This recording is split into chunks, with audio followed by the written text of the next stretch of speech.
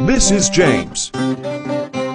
He is 6 years old and can put on and take off his CRT contact lenses all by himself. Don't let his age confuse you.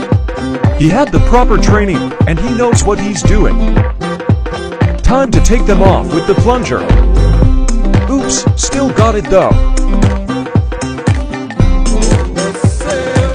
And the other one.